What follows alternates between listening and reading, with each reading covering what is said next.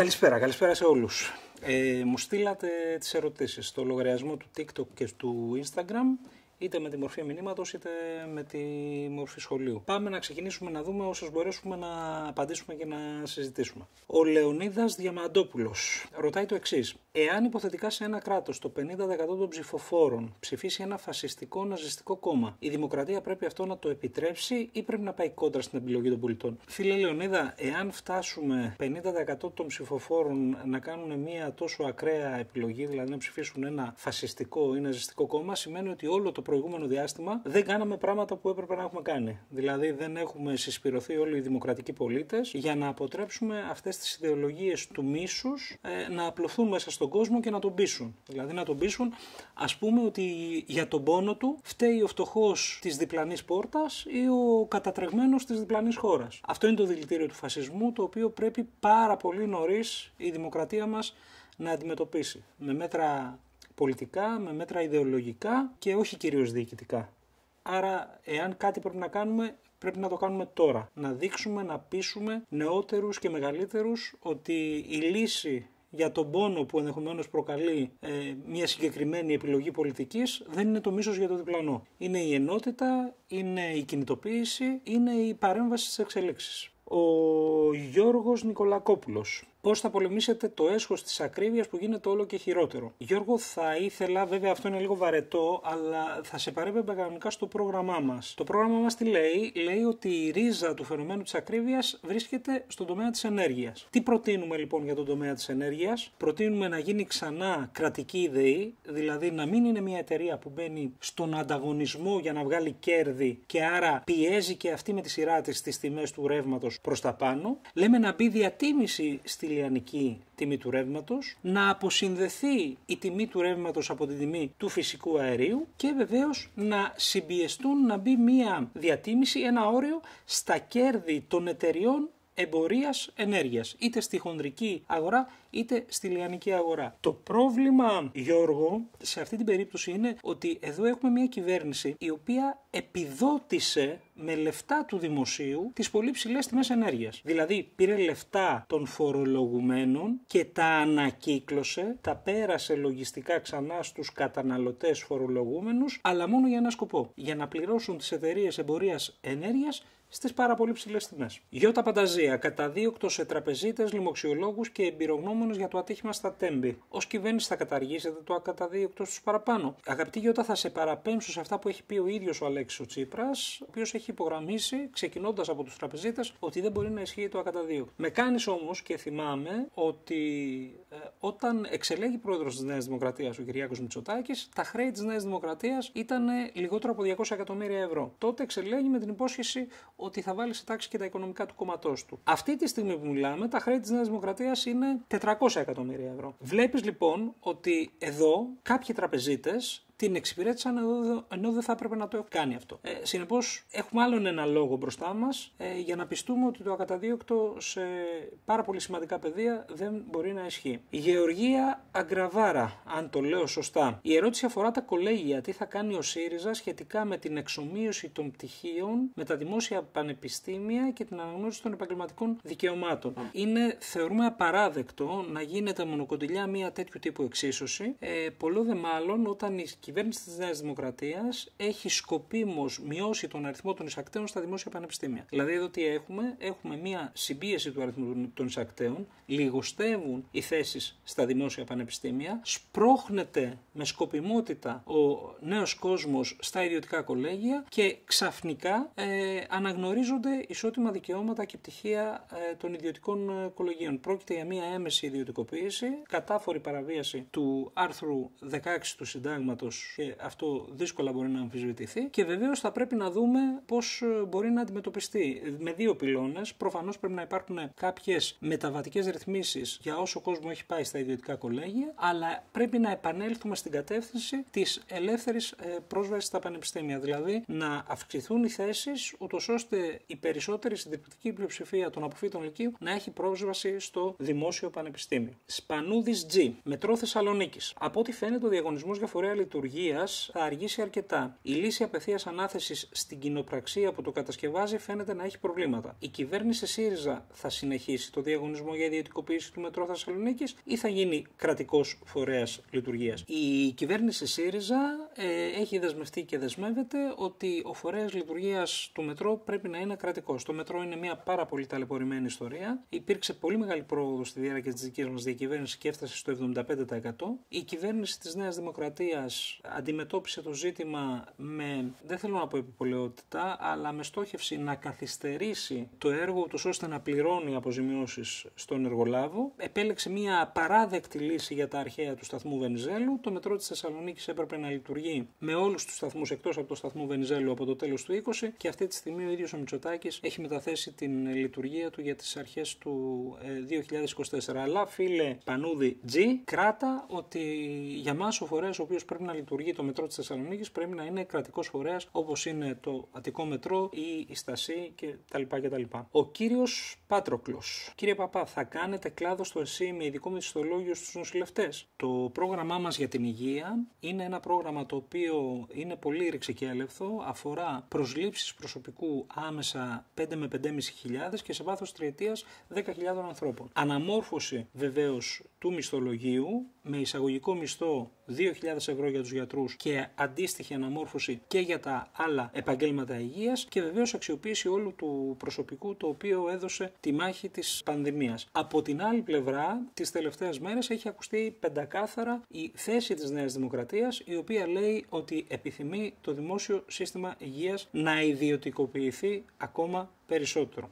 Η Μαρία μας ρωτάει το εξής ποιες θα είναι οι πολιτικές του ΣΥΡΙΖΑ για τον ΟΑΕΔ. Οι πολιτικές του ΣΥΡΙΖΑ για τον ΟΑΕΔ θα είναι πολιτικές ενίσχυσής του. Είναι προφανές ότι ο ΟΑΕΔ μπορεί να παίξει ένα πάρα πολύ σημαντικό ρόλο εάν ενισχυθεί με προσωπικό και αν αναβαθμιστεί ο ρόλος του. Αυτό αφορά αυτό που λένε οι οικονομολόγοι βέβαια κυρίως την ανεργία τριβή, δηλαδή τη μετάβαση ε, ανθρώπων από, την, ε, από τη μία θέση εργασίας στην άλλη ή τη μετάβαση την οριακή από την ανεργία στην εξέβρεση εργασίας. Το μείζον ζητούμενο όμως εδώ είναι να αποκατασταθεί η ομαλότητα στην αγορά εργασίας. Δηλαδή να επανέλθουν οι συλλογικές συμβάσεις, να αυξηθούν οι μισθοί, να ενισχυθεί η επιθεώρηση εργασίας και να αποκατασταθούν τα κεντρικά βασικά δικαιώματα των εργαζομένων. Έχει αποδειχτεί όλο το προηγούμενο διάστημα, κυρίως στην περίοδο 15-19 που είχαμε την τάση επανάκαμψη όλων αυτών των δικαιωμάτων, ότι και η συνολική οικονομία υποστηρίζεται και βοηθιέται όταν γίνονται τέτοιες επιλογές. Ο Γιάννης Ζιμπρακάκη. Κύριε Παπά, εάν βγείτε κυβέρνηση, θα σταματήσετε τη σύμβαση του Κουντέλ στην Αθήνα; Η θέση μας, Γιάννη, είναι ότι οι αστικές συγκοινωνίες πρέπει να είναι δημόσιες. Η Νέα Δημοκρατία και σε αυτό το πεδίο έχει επιλέξει την ιδιωτικοποίηση. Αυτή τη στιγμή που μιλάμε, πάρα πολύ μεγάλο μέρος του μεταφορικού έργου γίνεται μέσω των κτέλ.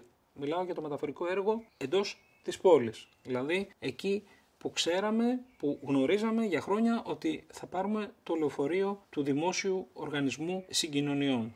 Η Νίνα Αντωνακοπούλου θα με ενδιέφερε να μάθω κάποιους από τους τρόπους αύξησης των δημοσίων εσόδων ώστε αυτά να αξιοποιηθούν σε ενίσχυση της δημόσιας υγείας, δημόσιας παιδείας, αύξηση του κατώτατου μισθού και πολλών άλλων φλεγόντων θεμάτων. Μία αποδεκτή απάντηση, λέει η Μίνα, της λέξης φράσει όπως αύξηση φορολογίας, τουλάχιστον για τα μεσαία και χαμηλά στρώματα, και δανεισμός. Μάλιστα. Υπάρχει μία μεγάλη εικόνα από την οποία δεν μπορεί να φύγει καμία πολιτική δύναμη. Και η μεγάλη εικόνα είναι ότι πάρα πολύ λίγες εταιρείες έχουν συσσωρεύσει τεράστια κέρδη όλο το προηγούμενο διάστημα. Αυτά τα κέρδη μια πολιτική δύναμη, μια κυβέρνηση ή θα τα φορολογήσει ή δεν θα τα φορολογήσει. Αν τα φορολογήσει, μπορεί να βρει πόρους για να ασκήσει κοινωνικές πολιτικές. Να πούμε ένα παράδειγμα. Τα διηληστήρια τα οποία γράφαν κέρδη 150 ή 200 εκατομμύρια το χρόνο, το 2022 γράψαν κέρδη περίπου ένα δις. Οι τράπεζες επίσης, σε μια οικονομία η οποία έχει τα προβλήματά της και ενώ οι ίδιες οι τράπεζες δανειοδοτούν μόνο το 4% των επιχειρήσεων, πρόσεξε, βγάλανε γύρω στα 4 δις. Οι εταιρείες χονδρεμπορικής και ε, λιανικής στην ενέργεια επίσης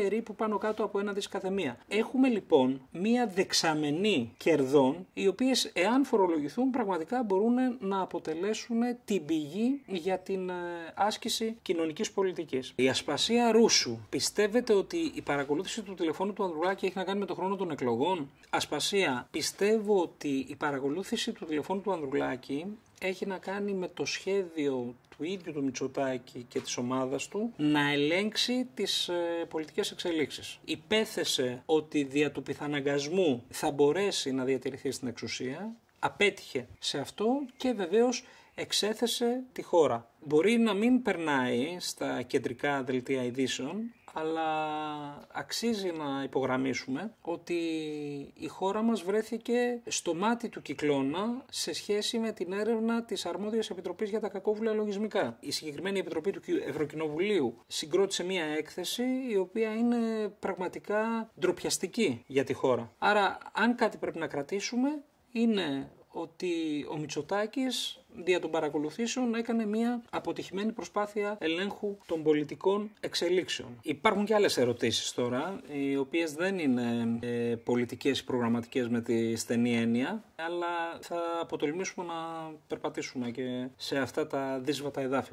Λοιπόν, πώς φαντάζομαι τον εαυτό μου σε 20 χρόνια. Εντάξει, την υγεία μας δεν έχουμε καταρχήν, ε, αλλά θα ήθελα σε 20 χρόνια από τώρα να μπορώ να κοιτάζω τις ε, στιγμές που ζούμε τώρα και να τις ε, βάζω σε ένα κάδρο έτσι αλλεπάλληλων ε, προοδευτικών εξελίξεων και αλλαγών. Δηλαδή με το λαό πρωταγωνιστή, με μια χώρα η οποία βελτιώθηκε, είδε τα λάθη του παρελθόντος και ε, τα πράγματα τα πήγε καλύτερα. Δεν είναι δηλαδή μια απεικόνηση ε, αμυγός προσωπική.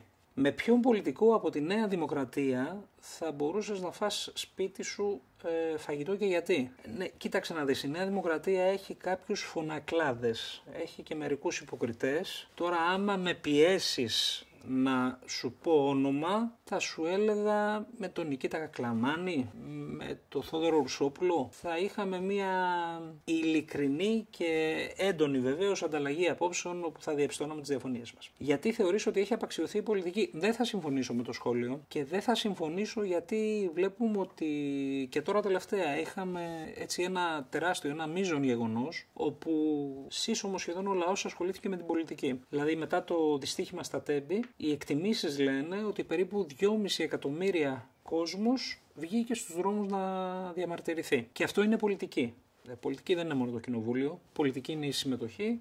Πολιτική είναι η αξίωση των δημοκρατικών πολιτών για λύσεις προστασίας της κοινωνίας. Άρα η πολιτική στα μάτια του κόσμου δεν πιστεύω ότι έχει απαξιωθεί. Είμαστε λίγο πριν τις εκλογές και ακόμα και κόσμος ο οποίος μπορεί να μην είναι στην καθημερινότητά του τόσο κοντά στην ενασχόληση με τις πολιτικές εξελίξεις, θα κληθεί να κάνει μια επιλογή. Και υπό το φως των τελευταίων εξελίξεων πιστεύω ότι αυτό θα είναι σημαντικό. Κάτι για το οποίο έχεις πει θα το έκανα αλλιώς, λέει μια άλλη ερώτηση, παύλα σχόλιο. Είναι αναρρύθμιτα. Είναι αναρρύθμιτα. Αν ε, με πίεζες, φίλε, να προσδιορίσω κάτι, θα έλεγα ότι ενδεχομένως σε μία ή δύο στιγμές δεν θα έπρεπε να είμαστε πολύ υποχωρητικοί ως κυβέρνηση. Γιατί αυτό ενδεχομένως κόστησε παραπάνω από ό,τι θα κόστιζε μία επιμονή στην ε, χαραγμένη πολιτική μας. Η μεγαλύτερη σκανδαλιά ως πιτσυρικά αυτή δεν είναι ανακοινώσιμη.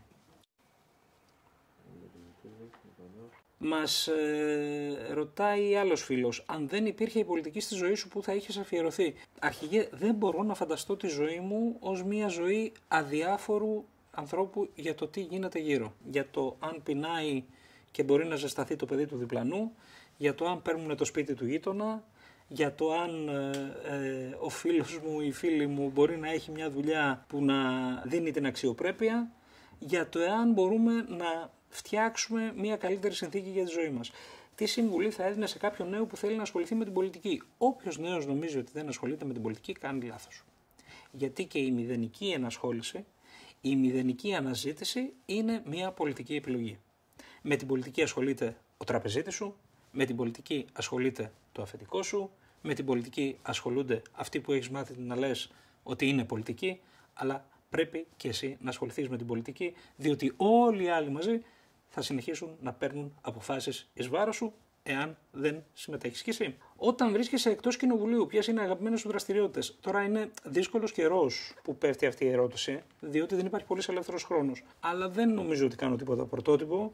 Προτιμώ τους ε, περιπάτους, την αναψυχή και στο βουνό ε, και βεβαίως την ε, συντροφιά καλών ε, φίλων και παρέας συνήθως συνδυασμένη με τη γαστρονομία. Πώς διαχειρίζεσαι την πίεση της δουλειάς, Υπάρχει κάποιο μυστικό γι' αυτό; Κοίταξε να σου πω. Ε, εγώ έχω κουρδιστεί να ξυπνάω νωρίς. Αλλά ε, η πίεση της δουλειάς για να γίνει διαχειρίσιμη πρέπει να μπορέσεις να φτάσεις σε ένα σημείο πολύ σοβαρής εμπιστοσύνης με τους συνεργάτες σου. Να μάθεις να μοιράζεις την μπάλα κατά το κοινό λεγόμενο, να εμπιστεύεσαι ανθρώπους οι οποίοι μπορούν να γίνουν ε, και πολύ δημιουργικοί και πολύ αποτελεσματικοί.